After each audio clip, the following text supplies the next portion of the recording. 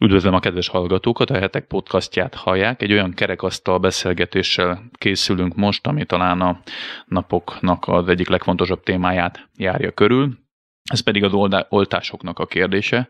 Nyilván rengeteg szó esik az oltásokról, rengeteget írnak az oltásokról, rengeteg álhír, téveszme, kamóhír, összeesküvés elmélet, vagy akár jogos aggódalom is kering az interneten és azon kívül, és megpróbáljuk az összes ilyen kérdést, ami felmerül bennünk, azt feltenni olyan embereknek, akik ehhez nagyon értenek. Tudjuk, hogy a 10 millió virológus országában élünk, de talán vannak olyan e, honfitársaink, akik egy fokkal szakmaiban állnak hozzá a kérdéshez, mint mi hotelhúszárok, és meg én is azt, annak tartom magamat, és aki pedig a segítségünkre lesz itt a podcast műsorában, az dr. Ábrahám Hajnalka, a Pécsi Tudományegyetemnek az egyetemi docense, valamint dr. Lukács András, aki szintén ugyanannak az intézménynek az egyetemi docense, mindketten foglalkoztok, most tegeződünk, mert, mert kaptam erre engedélyt, mindketten foglalkoztok ezzel a kérdéssel, oltásokkal kapcsolatban, hogyan működnek, és, és talán kezdjük azzal az egész műsort, hogy végigvesszük, hogy a különféle oltások azok hogyan működnek, mert legtöbbször ezeknek a tudta nélkül mondunk nagy következtetéseket, és talán itt most he, he, rendet rakunk a fejekben, akkor a többi kérdésre is jobban fogunk tudni választ kapni. És akkor köszöntöm is itt a, a vonalban dr. Ábrahám Hajnit. Szervusz, köszönöm, hogy elfogadtad a felkérésünket. Szervusz, és én is köszöntöm a, podcastnak a hallgatóit.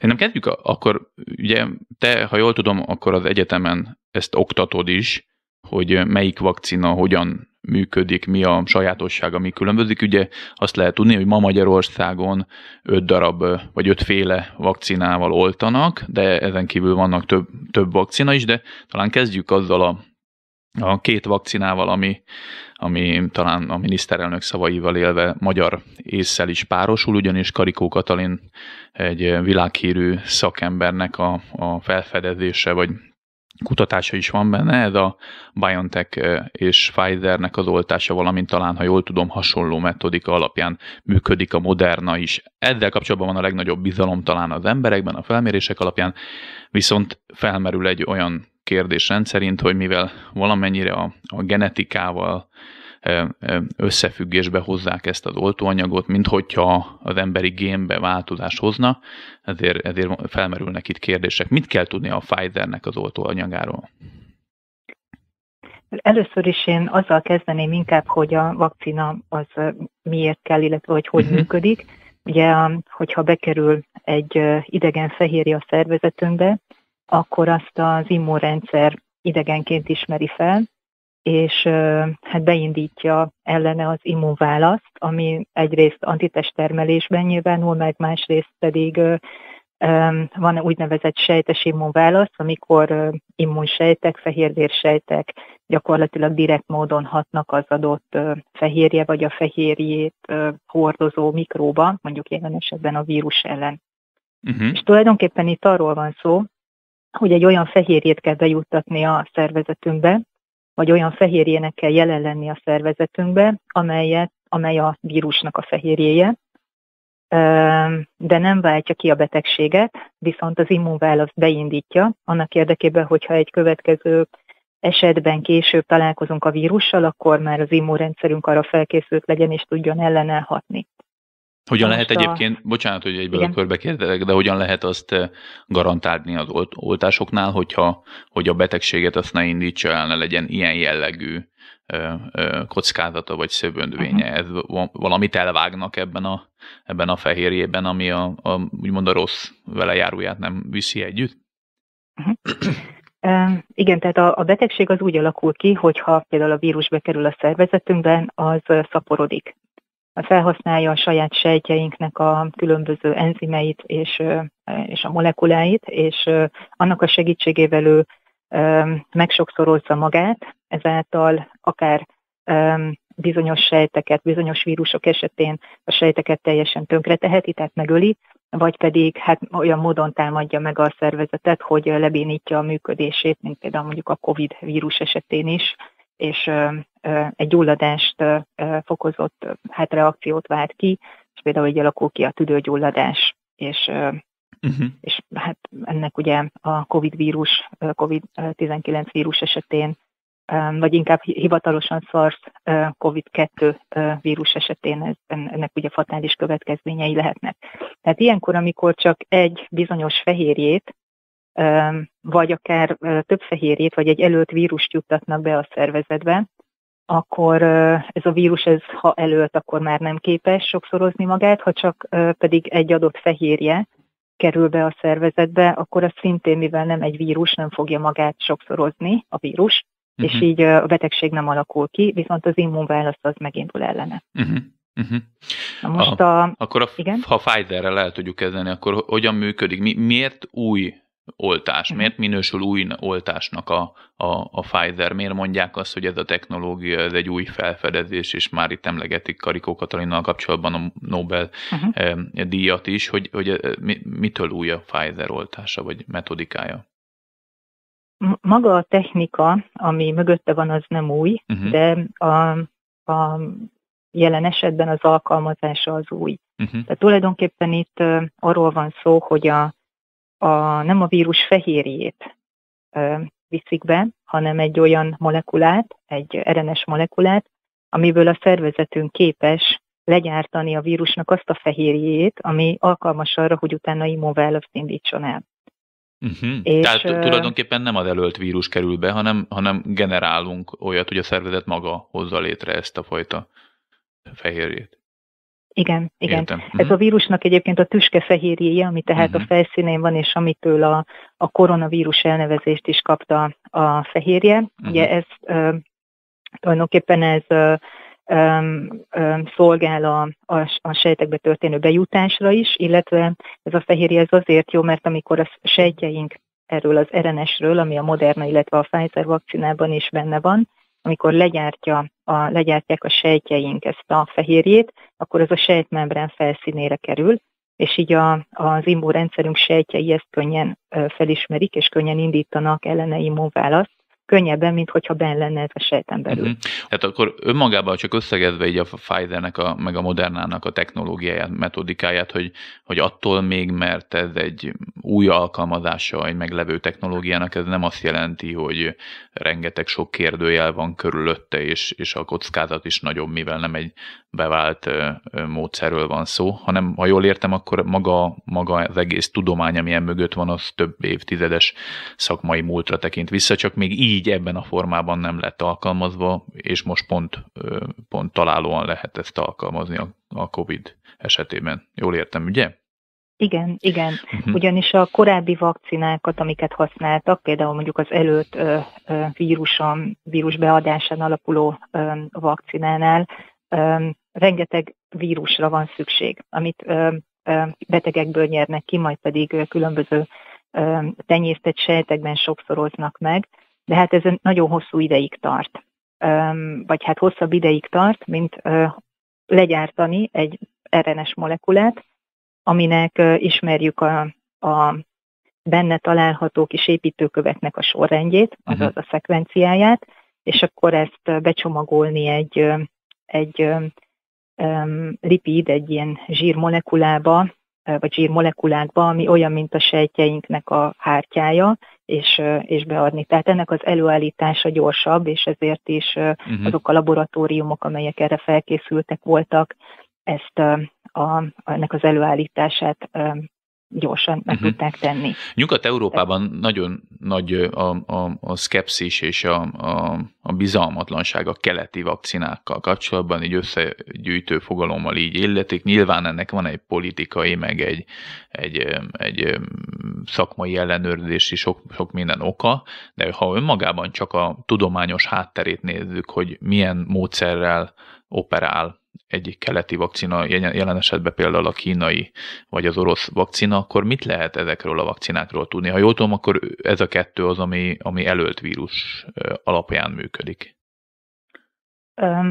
A kínai vakcina, a Sinopharmnak a vakcinája az előtt vírus tartalmaz. Uh-huh. Um, tulajdonképpen, ahogy az imént mondtam, ez úgy történik, hogy a, a vírust betegekből kinyerik, uh-huh. majd uh-huh. pedig felszaporítják, és egy kémiai, anyag, kémiai anyaggal előlik, inaktiváltá teszik, a fehérjeiben maradnak, ezért amikor megkapja valaki ezt az oltást, akkor azok a fehérjék, amik benne vannak, azok elindítják az immunválaszt, és, és hát az tulajdonképpen ez hatékony. Egyébként ilyen vakcina, az influenza elleni vakcina, amit ugye minden évben beadnak, uh-huh vagy a járványos gyermekbénulás elleni vakcina, tehát ez, ez is már régi módra, ez egy hagyományos oltás, vagy ilyen vakcina uh-huh. készítési eljárás. A Sputnik az ettől már különbözik, és az inkább az AstraZeneca cégnek a, a termékéhez hasonlít. Uh-huh.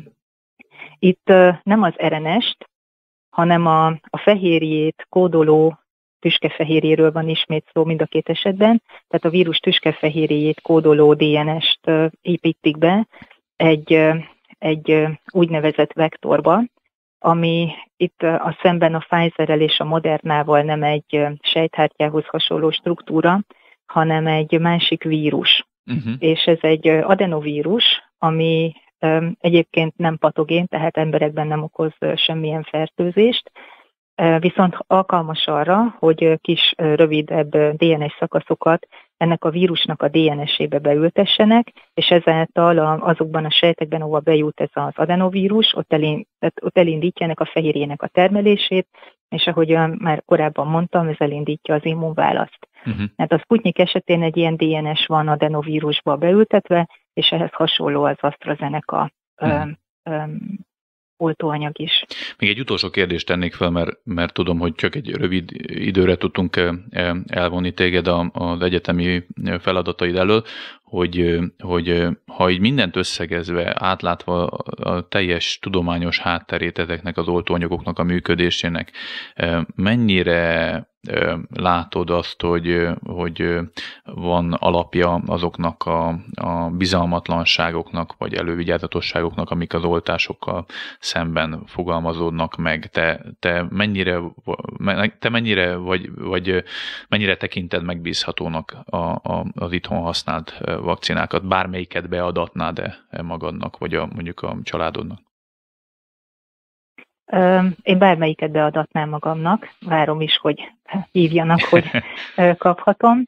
Tulajdonképpen mindegyik megbízható. Uh-huh. A technikák eltérők, amikkel előállították, de én azt gondolom, hogy, hogy, hogy mindegyik megbízható. Ugye mostanában az AstraZeneca-val kapcsolatban merültek fel kételjek, néhány országban le is állították, de például az Európai Gyógyszerügynökségnek a honlapján is az áll, hogy az a hatás, az a pozitív hatás, ami a, a vakcina hatása, hogy ellenállóvá tesz minket a koronavírus fertőzéssel szembe, az sokkal nagyobb, mint azok a mellékhatások, amik esetleg megjelennek. Úgyhogy én azt gondolom, hogy semmi ok nincsen az aggodalomra, valamennyi Magyarországon forgalomba hozott vakcinát használják más országokban is, és például a Pfizer-t nagy mennyiségben adták be Izraelbe, ahol, ahol teljesen lecsökkent a, az új fertőzéseknek az aránya, és újra lehetett nyitni a gazdaságot, hát lépésről lépésre természetesen, illetve az AstraZeneca pedig az Egyesült Királyságban használták, és ott is nagyon pozitív változások történtek a, a, a fertőzések számának a csökkenését, csökkenésében látszik uh-huh. ez. Úgyhogy én, én, én bátran ajánlom mindegyiket hogy fogadják el a kedves hallgatók és oltassák be magukat. Nagyon köszönöm, dr. Ábrahám Hajnalkával beszélgettünk, aki a Pécsi Tudományegyetemnek az egyetemi docense és a, a egyik kutatási területe vagy oktatási területe az, az oltások működésével kapcsolatos, ezért is beszélgettünk vele arról, hogy hogyan működnek a Magyarországon is használatos oltások. Nagyon köszönöm, hogy elmondtad. Ilyen rendkívül tömören, de azért mégiscsak egy kis mini tananyagnak nagyon szuper volt a, a hallgató hallgatók számára további jó egészséget és eh, jó munkát kívánunk neked. Szervusz! Köszönöm szépen, és én is jó egészséget kívánok minden hallgatónak. Szervusz! Már folytatjuk is a beszélgetést Lukács Andrással, dr. Lukács Andrással, aki szintén a Pécsi Tudományegyetemnek az egyetemi docense, biofizikus, és e, egyáltalán nem mellékesen a heteknek a rendszeres szerzője, vendégszerzője. Nagyon nagy szeretettel köszöntelek itt a vonalban, és e, köszi, hogy elfogadtad a felkérést. Én is köszönöm. Szia, Máté! No, iszonyú sok kérdés kering itt az interneten, meg, meg az interneten kívül is, családi asztalok borulnak föl, és, és régi barátságok töretnek meg az oltások, be nem adott és beadott oltásoknak a témájában. Remélem a ti asztalotok még, még a négy lábánál, de tulajdonképpen itt a, a média talán a médiának a, a szenzációhajhássága, talán a politikai pártoknak a, hát ilyen téren talán elvtelensége, talán a kommunikációs baklövések, amit a, a néha a szakintézmények is elkövetnek, talán mind-mind hozzájárulnak ahhoz, hogy, hogy, hogy a bizalmatlanság még mindig azért elég magas az oltásokkal szemben, és, és kezdjük a legégetőbb témával, vagy legégetőbb kérdéssel, vagy, vagy ügyjel, ez pedig az AstraZeneca-nak az oltása. Ugye egy Oxfordi vakcináról van szó, és hogy hogy működik, azt már, már nekünk Ábrahám Hajnak, a dr. Ábrahám Hajnak, aki szintén egyetemi docens elmondta az előző percekben, de itt az a kérdés, hogy, hogy ugye volt egy-két rejtélyes haláleset, legalábbis a sajtó ezt felkarolta, és ugye ez még hagyján, hogy, hogy a sajtó összeköti az oltásokkal, az AstraZeneca oltással ezeket a haláleseteket, mint hogy talán trombózis vagy embolia volt ennek a, az okozója, de sorba európai országok elkezdték felfüggeszteni ugyanezen indokkal a zenekával való oltást, mert náluk is voltak trombózis esetek, vagy, vagy egy-egy haláleset is, vagy súlyos megbetegedés. Tehát azért az aggodalom, vagy a bizalmatlanság ebben az esetben én azt mondanám, hogy még nem is összeesküvés elmélet, hanem egy, egy, egy megalapozott nyugtalanság. Itt, itt az első kérdésem az az, hogy túl lett reagálva a, a, az esetekre adott válasz a hatóságok meg az országok részéről, vagy teljesen jogos az aggodalom? Hát ketté választanom a kettőt, mert aggódni mindig lehet. Tehát ugye százszerzalékos biztonságú gyógyszer, vakcina, egészségügyi ellátás nincsen, tehát azért Magyarországon biztonságosnak számít egy mandulaműtét, és de hát a sajnálatos módon azért volt olyan mandulaműtét az elmúlt húsz évben, ami halállal végződött. Ennek ellenére, tehát azért az ember ajánlják a mandala műtétet, akinek erre szüksége van, de sajnos ilyen százszerzalékos egészségügyi ellátásához sincsen. Tehát mm. ilyen értelemben érdemes, tehát felmerülhet az aggodalom.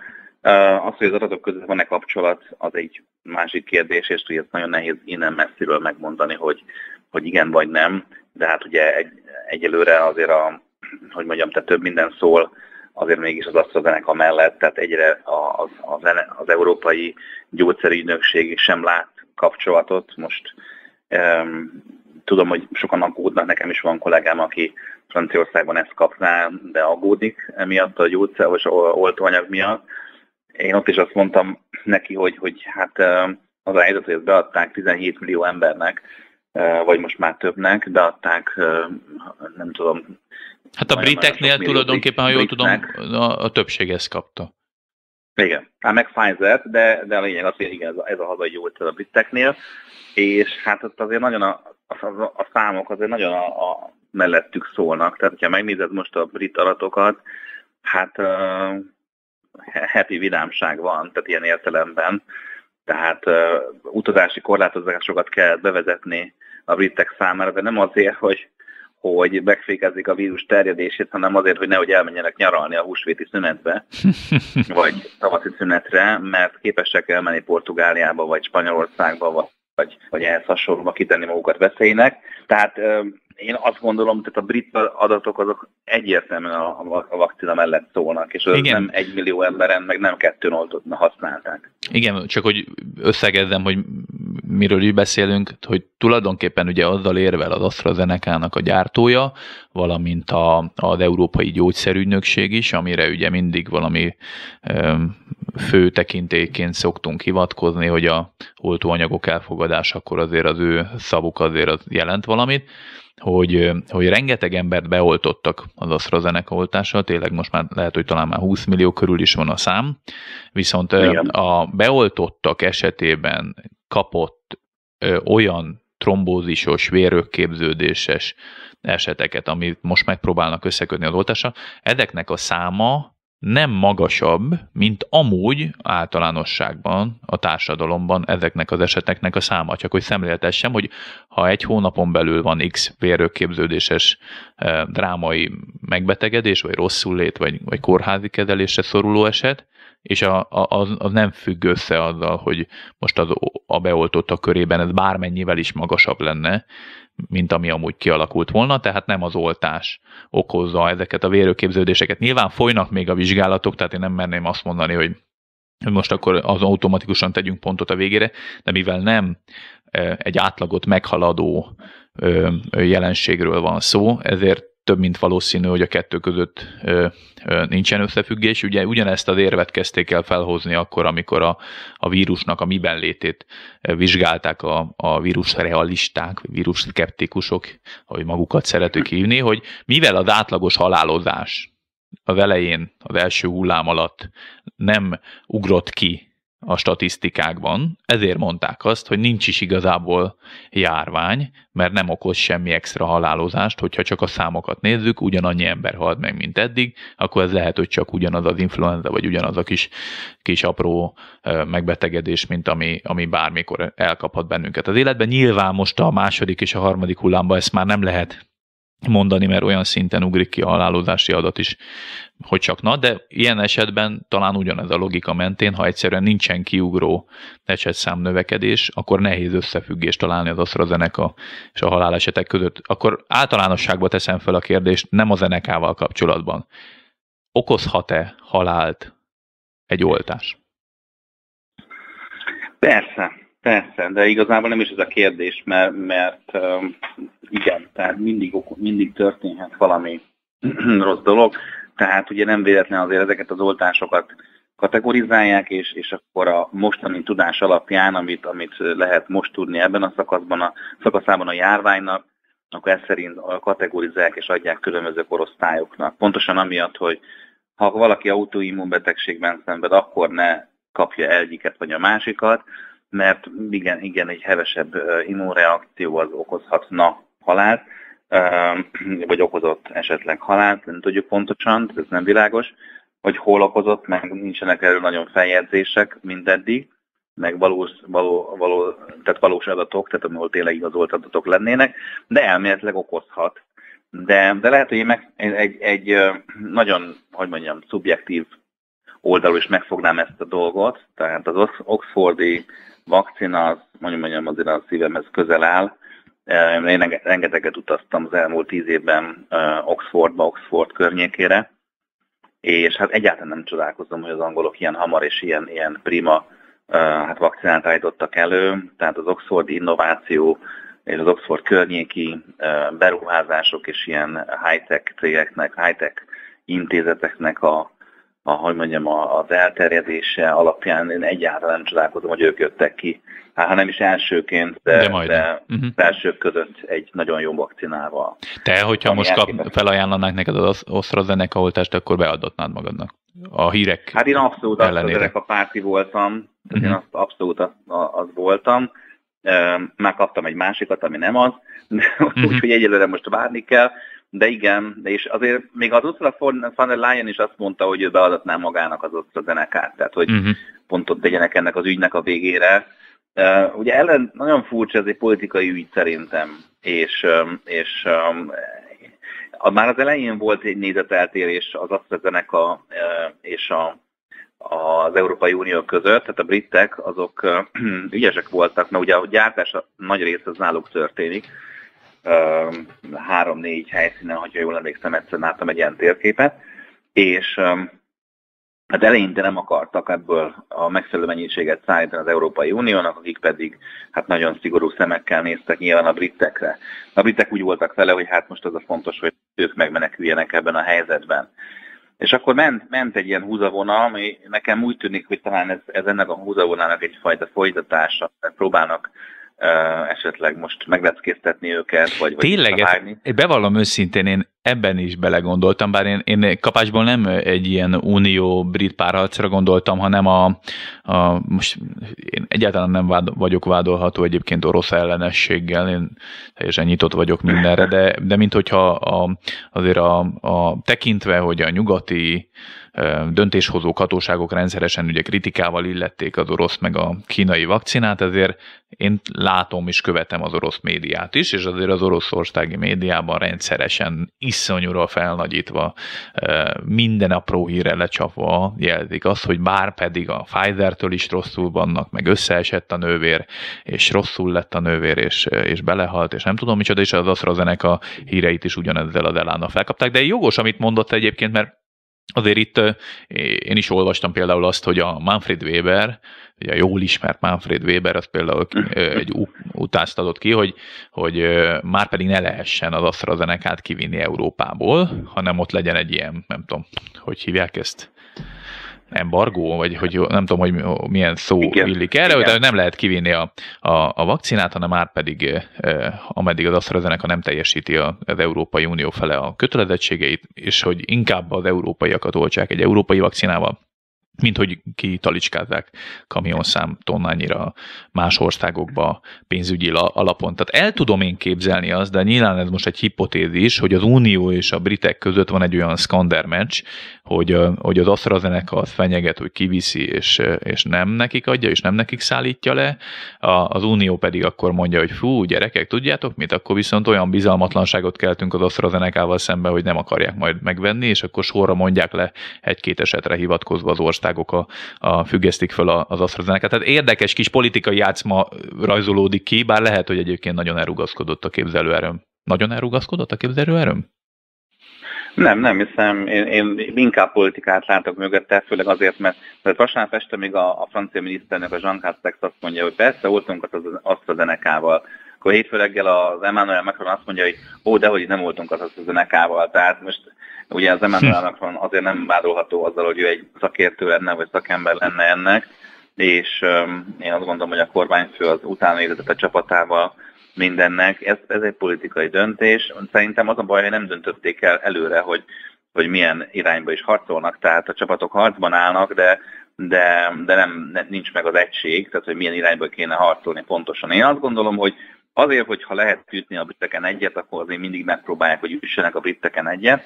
Tehát pláne azért, mert a britek már karácsony előtt azzal dicsekedtek, hogy lám-lám, kiléptek az EU-ból, és ő nekik a vakcina programjuk rendben van, és mindenki Egyébként igazuk van. És egyébként ez így történt.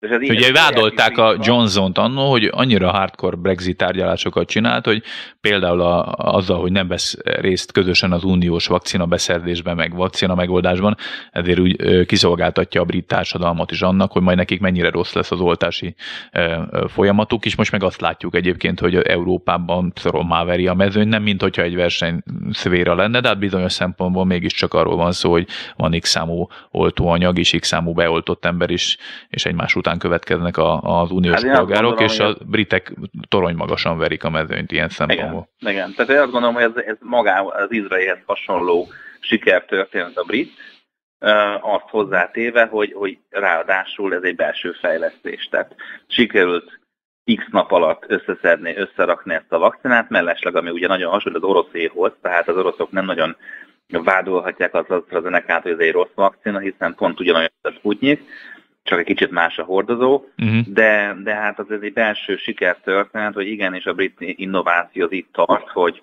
hogy, hogy hónapok alatt összerakták, megcsinálták, lepublikálták, tehát úgy, ahogy ezt a nagykönyvben meg van írva, én le a kalappal. Tehát én uh-huh. azt mondom, hogy ezt, ezt így, így kell csinálni.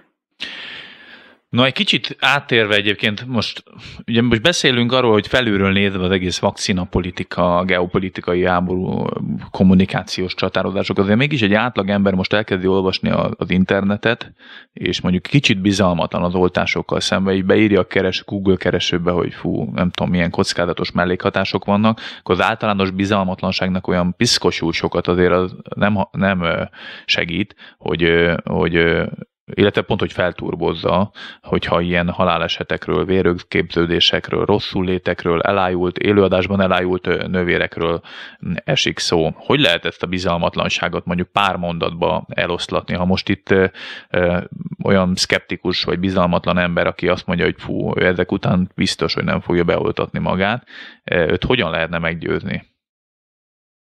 Hát sehogy. Na jó, most olyan emberekről beszél. Én például egy icipicit őszinte vagyok, elkezd, függ, felfüggesztették az AstraZeneca oltást fél Európában, és itt-ott ott számoltak be oltásról. Ha én nekem most felajánlják, hogy AstraZeneca vagy egy hónap múlva Pfizer, lehet, hogy azt mondanám, hogy, hogy hát akkor inkább a Pfizer-t megvárom. Érted? Tehát, hogy létező hatást keltenek ezek a hírek.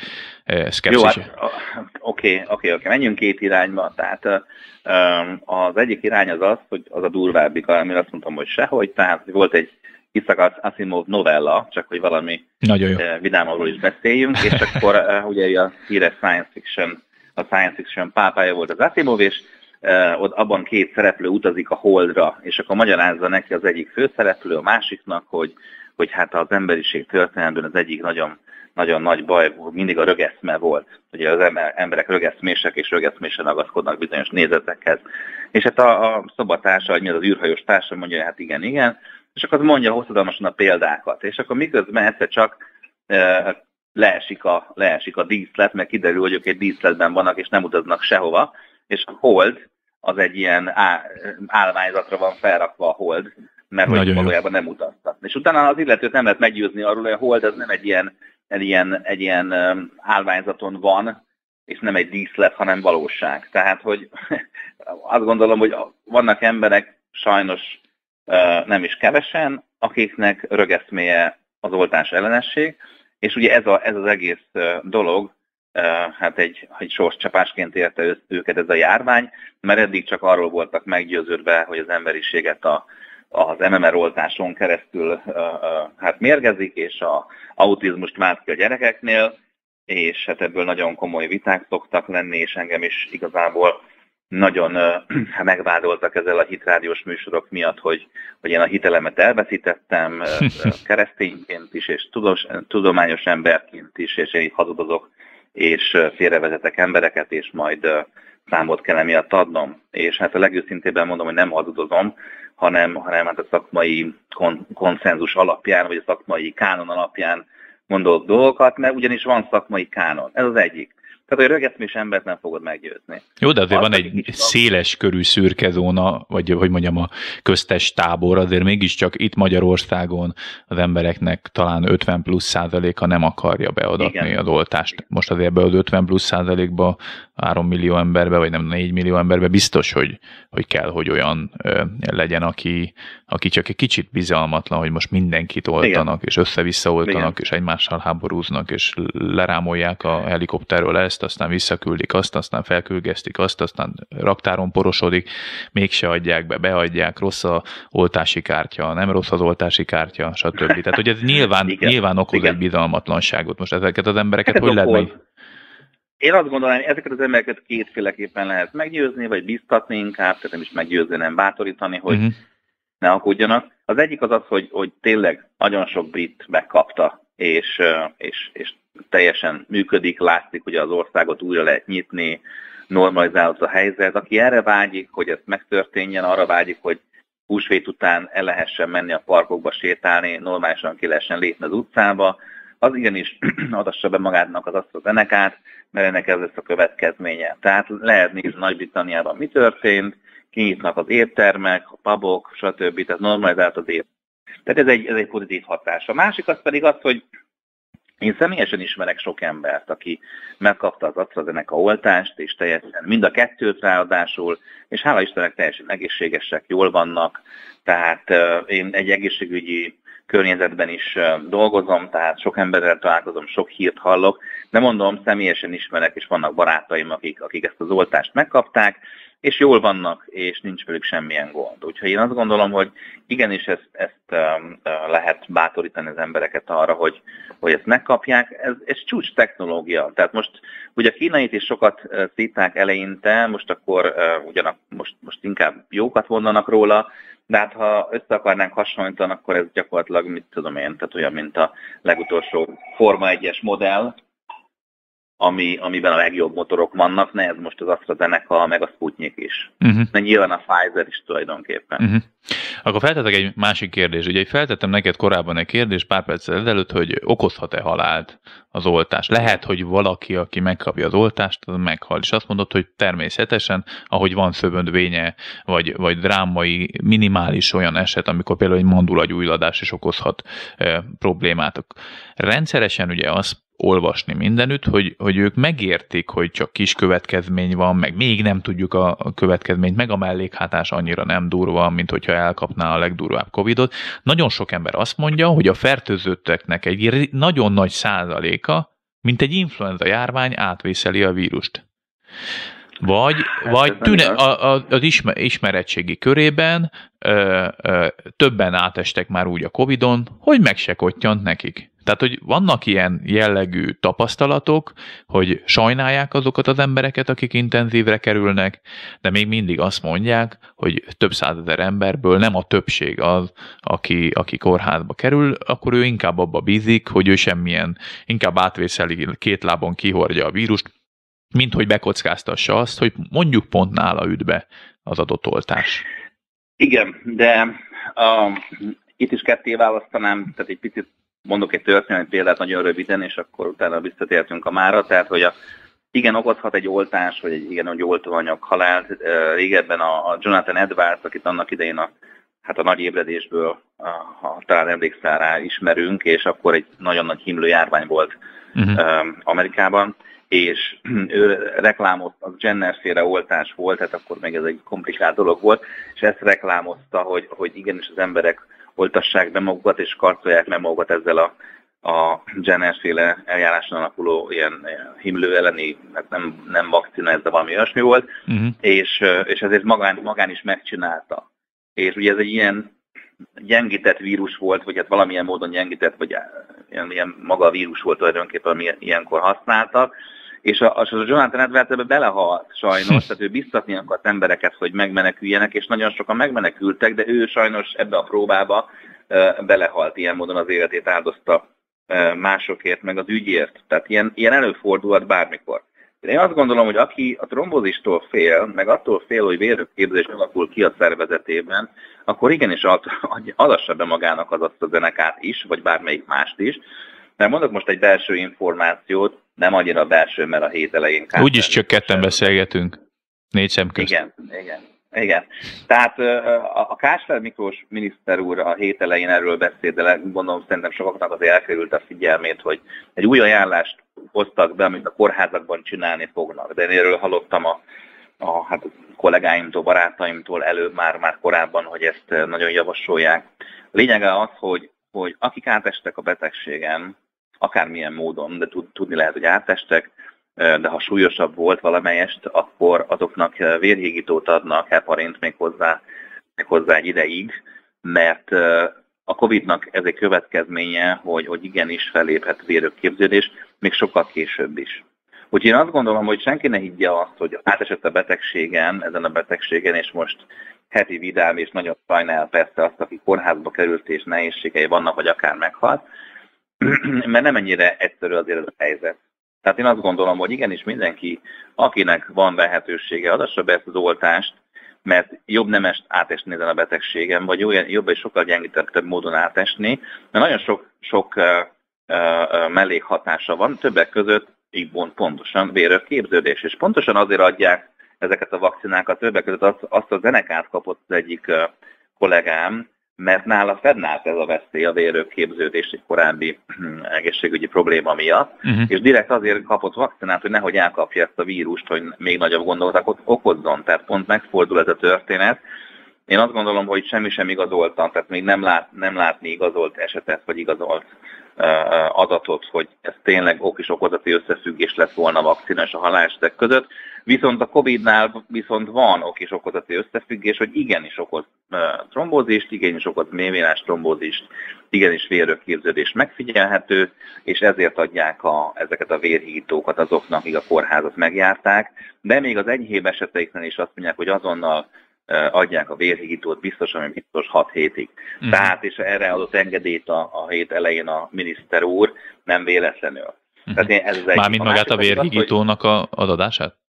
Ra adott engedély? Hát igen, mert ugye ez igen. nem egy olcsó történet, de hogy a protokoll változott, tehát hogy automatikusan fogják ezután adni, akkor, akik részt vesz kórházi kezelésben mhm. COVID miatt, azok esetében automatikusan írják, hozzáérják a protokollhoz a vérhítóknak a, az adását. Uh-huh. Tehát nem csak esetleg a favipiravírt, vagy ezeket a antivirális gyógyszereket kapják, hanem majdnem minden egyes esetben kapják a vérhígítót. Hát, tulajdon... Ez egyik. Uh-huh. Mondjad, parancsolj. És még, egy, és még egy pozitív dolog, hogy, hogy még nagy tanulmány ebből nincsen, de nagyon úgy néz ki, hogy azoknak az embereknek az esetében, akik átestek a fertőzésen vagy a víruson, de utána kaptak egy, egy oltást, javulásnak indultak ezek a marad, maradvány tünetek. Tehát uh-huh. maradnak tünetek, a levertség, fáradtság és rosszabb dolgok is, de megkapták, a, a, megkapták az oltást, mert eltelt a három hónap, vagy eltelt a meghatározott idő, megkapták az oltást, és ezek a maradvány tünetek, ezek rohamosan fejlődni kezdtek, tehát rohamosan felépültek az, a, az illető betegek. Tehát uh-huh. van egy ilyen plusz, plusz pozitív hatása, hogy még az is, aki átesett rajta, amikor csak teheti és felkínálják, érdemes beadni, mert vannak erre már, már esetek, hogy, hogy látszik a javulás. Hát ez az egyik része, másik része az, hogy most már köztudott tény, hogy újra el lehet kapni egyébként a koronavírus, tehát attól függ, hogy a, a mennyi, hát mennyi antitestet termelt a, a, egy, egy első megbetegedés vagy megfertőzöttség, és a, pont a mutánsok, mutációk miatt, stb. miatt e, ugye több olyan esetről most már tényleg százával, ezrével számolnak be, hogy újra megkapja, vagy átesik Igen. valaki a fertőzésen, Igen. és ugye ezzel szemben, a, ha valaki az oltást megkapja, akkor olyan szinten vagy nagyságrendekkel nagyobb védettség alakul ki a szervezetében, ami miatt szinte esélytelen, hogy újra megfertőződjön, vagy ha meg is fertőződne, akkor ezeknek a tünetei iszonyú csekély számra csökkennek lehet. Tehát, hogyha leegyszerűsítem az egész történetet, abba, hogy az ember, annak az esélye, hogy az ember elkapja a Covid-ot, jelenleg magas az az, e, aznak az esélye, hogy a, elkapva a Covid-ot ö, ö, hosszú távú, de akár rövid távú dráma történjen, drámai állapot, ö, gyengülés, zuhanás, ö, válság történjen, annak az esélye magas. Az, hogy hosszú távon olyan szövődmények ö, alakuljanak ki, amitől akár hónapokon keresztül gyötrődik az ember, az is magas esélye. Annak az esélye viszont, hogy az oltás beadatásával valamiféle kockázat, vagy mellékhatás, vagy vagy szövődmény kialakul, aminek ilyen drámai következménye van, ezeknek az esélye viszont iszonyatosan alacsony. És akkor el kell dönteni az embernek, hogy most vállalja a nagyon magas kockázatot azért, mert hogy ő, ő már pedig a kis kockázatot nem hajlandó vállalni, vagy, vagy bevállalja azt, hogy oltás, és akkor abba az egy millióból az az egy az nem ő lesz, vagy a több millióból egy az nem ő lesz, akinél ez bármilyen szövődményt okoz. Jelenleg nem tudunk máshogy harcolni a vírusokkal szemben, csak úgy, hogyha beoltatjuk magunkat, vagy úgy, hogy agyon korlátozzuk az életünket, és, és mindenki egy négy fal között éli le az egész életét, és hosszú éveken keresztül várva, hogy egyszer majd csak alápagy az egész dolog. Én szerintem, hogyha bármelyikünk akarja még a szereteit, nagyszüleit megölelgetni, és egy jót nyaralni a Balatonon, vagy máshol, vagy akár az, az üzlethelyiségét kinyitni, akkor az oltassa be magát. Ez lenne az én véleményem. Viszont még egy témáról szerintem kellene szót ejtenünk, ha még ráérsz egy pár percre, András, hogy Persze. most a Vatikán adott ki egy egy olyan közleményt, vagy, vagy hogy mondjam, felszólítást, vagy, vagy útmutatót a hívei számára, hogy a Johnson és Johnson vakcinát amennyire lehetséges ne adassák be maguknak, mégpedig a következő ok miatt, amit már egyszer decemberben egyébként a heteknek a hasábjain is azért tárgyaltunk, hogy előtt magzati sejteken történt a szaporítása ennek a, a, a vírusnak, és ez bizonyos szempontból ilyen erkölcsi, etikai kérdéseket vet föl, hogy abortált magzatoknak a sejtje mennyire érintőlegesen, vagy nagyon közvetett módon, de vesz részt ezeknek az oltóanyagoknak a, a tömeges gyártásában. Az egész kérdés körrel kapcsolatban neked mi a véleményed? Azért mégiscsak keresztény világnézetű emberként az abortuszhoz, hogyha csak egy nagyon-nagyon távoli kapcsolódás is van, vagy érintettség, azért az ember az, az százszor vagy ezerszer milliószor meggondolja, hogy ha van választási lehetősége, akkor mást választ. Te hogy látod ezt az egész kérdést?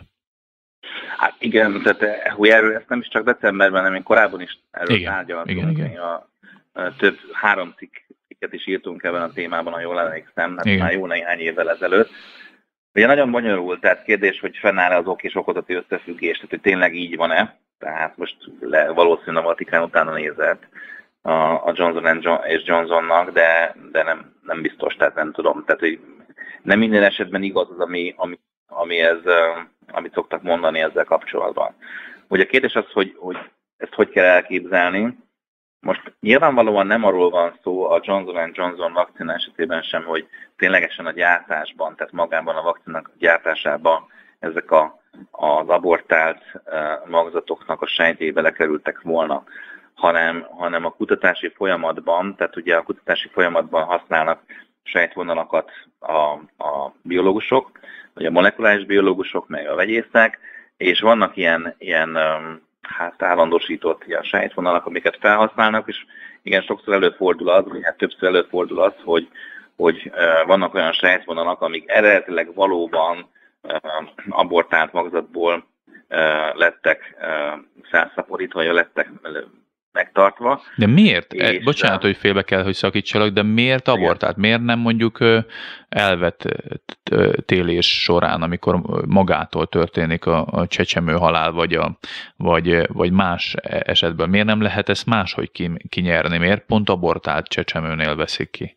Fogalmam sincs, lehet valószínűleg van olyan is, amelyiknél a vetélt ből van, tehát, uh-huh. de amúgy, amúgy nem tudom pontos, a pontos folyamatát. Ugye nagyon a lényeg, hogy magzati korban van olyan sejt funkció, vagy Igen. sejt tulajdonság, ami iszonyúra sokat segít a, a, az oltás kutatás során. Jól értem, tehát olyan környezete van egy ilyen magzati sejtnek, ami annyi potenciált tartalmaz, ami nagyon sokban segíti ezt. Hát eleve ezek a sejtvonalak olyanok, hogy, hogy több lehetőséget biztosítanak a kutatásra, vannak, mondom, más, más sejtvonalak is, többnyire rákos sejtek, mert azok állandóan szaporodnak és bemaradnak, és ezeket használják, vannak ilyen standardek, kutatási standardek, és ezekről lehet, lehet tudni. Na mindegy, tehát a lényeg a visszatérve, hogy, hogy azért az ok és okozat összefüggés azért ez, ez uh, uh, nem áll fent. Tehát nyilván ezeket a, a gyermekeket, ha tényleg ilyen sejteket használtak fel, akkor sem a vakcina miatt abortálták, ez biztos, hanem teljesen más miatt, csak uh, úgy alakult, nem tudom, ez a kórházi ellátás vagy környezet, hogy, hogy ezt felhasználták. Nem tudom, mert hogy igazolni kell, meg egy csomó, csomó hogy mondjam, legális eljárást végre kell hajtani, hogyha bármilyen ilyesmire sor kerül. Tehát nálunk, de azért mondjuk ellenmondásos a szabályozás, ez is megér majd egyszer egy, egy hetek cikket, hogy, hogy zebra halakat, ha akarnánk tenyészteni, akkor eszméletlen hát biztonsági előírásokat kellene betartanunk, hm. hogyha azon akarunk kísérletezni. Tehát, és azért, hogy és hétvégére, mit tudom én, csengőt bevezetni, meg riasztórendszert, hogy nehogy oxigén nélkül maradjanak a zebrahal, ebi halak. Na most, Jó, tehát ehhez képest... Igen, ez a kakas csibéknek és a sasfiókáknak az esete, ami... És minden másnak, Igen. így van, tehát azért elég szigorú a szabályozás, hogy mit hogyan lehet csinálni, csak, csak úgy, tehát bármilyen ilyen kísérlet, amiben kiszett meghalt állatokból, vagy megölt állatokból, vagy ilyesmivel, azt, azt le kell igazolni, tehát egy csomó engedéllyel jár.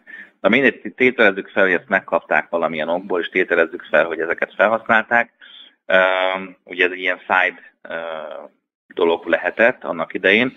Az tény, hogy ugyanakkor azért az emberben nem kell semmilyen, nem kell különösebb ilyen bizodalmat, vagy bizalmat a, egy ilyen vakcina, vagy egy ilyen gyógyszer iránt, hogyha ez így történt. Igen. Én azt gondolnám, hogy, hogy nem érdemes ezeket a kérdéseket így firtatni, ez már majdnem a, a bálványáldozati hús kategória kategóriába tartozna, hogy most akkor kérdezősködünk utána, hogy akkor most ez így történt, vagy úgy történt, vagy mi volt ez csak utalva, utalva egy keresztény polémiára, de hát nagyon nehéz megmoldani. Tehát nem egy, én azt gondolom, hogy amennyire én emlékszem erre a kérdésre, hogy nincs ok és okozati összefüggés. A gyártásban nyilvánvalóan nem kerülnek be ilyen sejtek, egyértelmű. A kutatást végezték bizonyos sejtvonalakon, amit kaptak valahonnan, valahonnan, valahonnan, és esetleg lehet, hogy tényleg... Többszörös ápszaporítás során. Igen. Igen. Igen. Igazából Igen. nekem, ami, ami leülepedett ebbe az egész kérdéskörbe az az, hogy van egy olyan létező és egyébként fontos vita, ami szerintem a szakmán belül le kellene folytatni, hogy, a, hogy mennyire lehet most ilyen szempontból etikussá tenni a gyógyszerkísérletezést, az oltáskutatás, stb. Tehát ez egy ilyen szakmán belüli vita, aminek le kellene zajlódnia, és azért valljuk be őszintén, hogy az orvostudományon belül azért a, a sajnos az olyan szintre jutott például az abortusz nem ipar, de szinte ipari méreteket töltő rendszeres milliószám végzett abortusz, hogy ott valamiért az orvostudományban a magzati életnek az értéke valahogy nem, nem került be a, a,